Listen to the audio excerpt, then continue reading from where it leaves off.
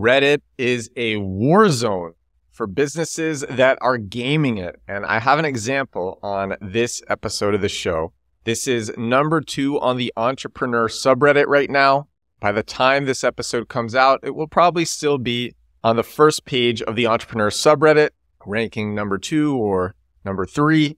It's this thread called Five Marketing Hacks That Worked for Us. So I'm going to read the post and I'm going to stop at the part where I suspected something was up.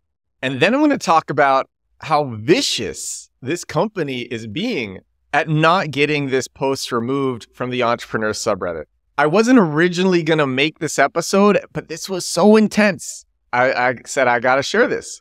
At first, I thought this was actually a great post. And it says, Hey, everyone, we are an early stage startup and have been experimenting with a whole bunch of marketing channels to acquire customers. Most of the traditional methods never worked for us, and here are some that actually worked. And then there are five things. There's Reddit Notifier, LinkedIn Cold Outreach, blogs and Pinterest, relaunches, and conferences. So it starts with Reddit Notifier. We set up Notifier to alert us anytime someone talked about a similar product slash problem on Reddit, and we DM the person with our solution. Number two, LinkedIn Cold Outreach. We used Apollo, very well known piece of software to filter for users based on location, company size, and title, and then DM them on LinkedIn from my founder profile. Number three, blogs and Pinterest. We set up, and I'm not going to name the software, we set up to automatically create blogs on topics our customers were already searching for and cross posted them to Pinterest. Pinterest domain authority helped us rank higher. And I read this and I said, that's interesting. I've never heard of this tool. Automatically create blogs on topics our customers are already searching for, but then cross post it to Pinterest. I was curious about that because I've been learning a lot about Pinterest marketing. And so I took and I Googled it. Number one was their homepage. And here is where I suspected something was up.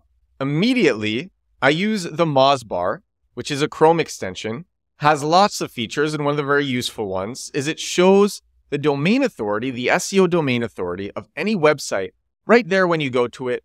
It's on the right hand side of the URL bar with a 1 to 100 score. New sites that don't really have any backlinks, they will have a 1 out of 100, the lowest domain authority possible. Super authoritative sites will have a lot more. But if you see a site that has 1 out of 100, you know that it is a brand new site. Or it's just not very reputable, doesn't have any links pointing to it. And the higher this number, the easier it is to rank for the keywords that you want to rank for, especially competitive keywords.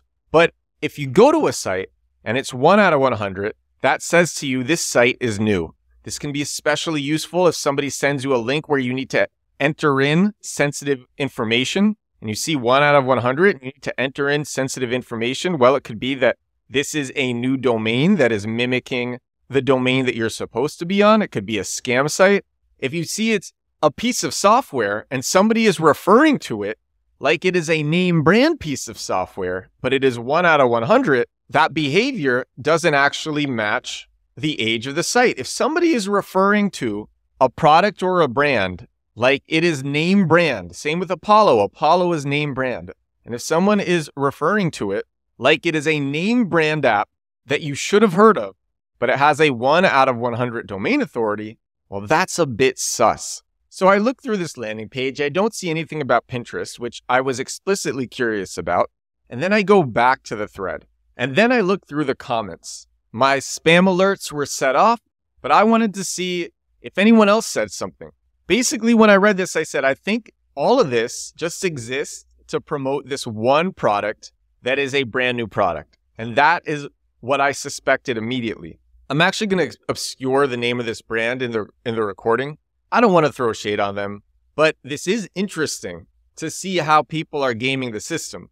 And if you want to see for yourself, you can just find the thread that I mentioned and then look at it for yourself, unless it gets taken down off the entrepreneur subreddit. So far, it has not been taken down, which is also interesting that it has skirted the rules for this long. The thread has been up for seven hours now. So I go to the comments and then I see this guy he posted. He said, Hi, mate. It's you again promoting your product in disguise again. I see you. You posted about your product under a different username in this now deleted Reddit thread here, listing it as number three in your top five AI products. And in this post, the one that I just read to you, five marketing hacks that work for us, it was also listed at number three. The commenter continues. You then posted it two days ago here again, listing it in one of your quote unquote must have tools to save time as an entrepreneur, which has again been deleted after I ousted you there too. So this person posts that.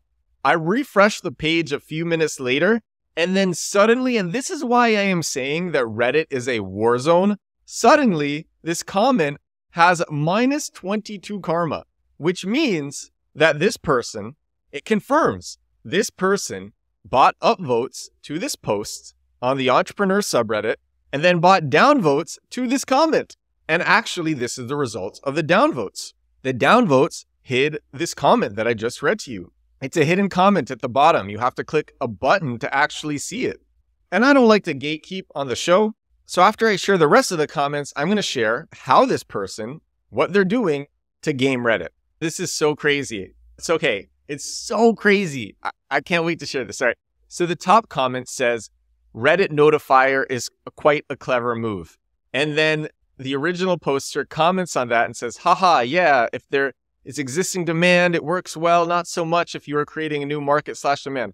So then this guy who was downvoted, it's so funny, comments on the top comment and says, hijacking the top post because I called them out in a comment, but they've downvoted me to oblivion. So it's hidden. Check it out below. This user has a history of promoting their product while disguising them under quote unquote top AA pro- products or top products for entrepreneurs, or in this case, five marketing hacks, reposting what I commented earlier in the thread, which is hidden due to downvotes for more visibility. So this person posts that, reposts what person originally posted, and let me read to you the karma on this new post. It has a minus 15. And the result of that is it gets hidden as well. You have to click a button to see it. Someone else commented and said that was my impression as well promotions disguised as advice. And that's what it is.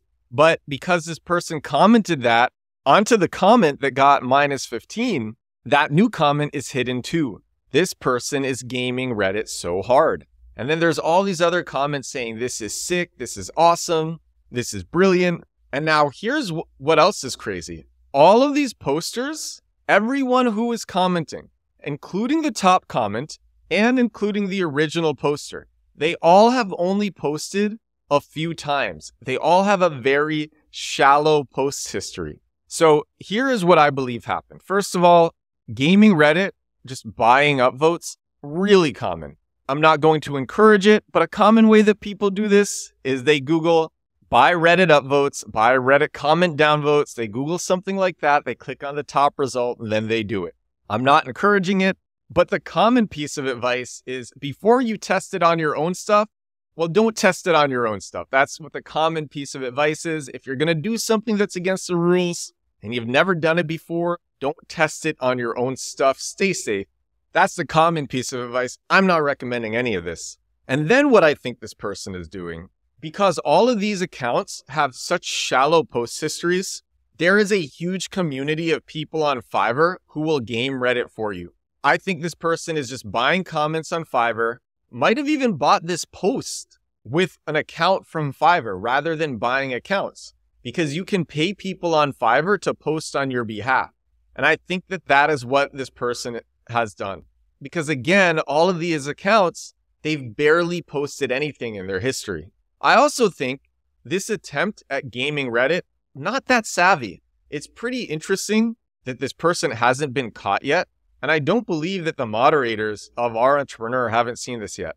I do think they should have included on their landing page Pinterest as a use case or given more detail on this post into how they're using Pinterest domain authority to help them rank higher.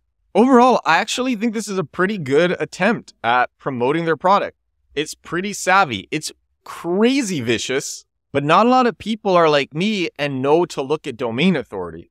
If you have some experience with search engine optimization and you know to look at domain authority, you can immediately see, well, this is a post that exists only to promote this one product, which negates the rest of the advice as just generic advice that may or may not help people. There's not enough specifics in it. Also, the post is called Five Marketing Hacks That Worked for Us. The other two things on this list were just lazy because they're not hacks. We launched our product almost five different times, number four, and most of the time it was the same product, but just different messaging and positioning. And then number five is conferences. We always asked our friends in the space what conferences they were going to, and we would go hang out around there for free and talk to as many people as we can. It's not really a hack at all. With that said, I'm going to give this manipulation attempt a four out of five. I think they could have done it better by putting in more detail for each one. They could have also used keywords so that a post like this will rank on Google and it will get traction into the future. Also, if this post was longer and had more specifics, it'd be less obvious as spam and it will be less likely to be taken down. That said, four out of five, I'm surprised it's still up. It's seven hours after it was posted. And Reddit is a war zone because this one person who's trying to expose them got so many downvotes. And this person is hiding these posts by just buying comment after comment after comment on this thread. It's really crazy. And that's all I got for you today. This is a creative and spammy way that this startup is promoting their company. I definitely think it's interesting. Thank you so much for watching. And thank you so much for listening. If you're listening, if you're going on a nice walk, doing the dishes, walking the dog, climbing a mountain, wherever you are as you're listening to this episode of the show, thank you. This is episode 435. I will talk to you again tomorrow. Bye now.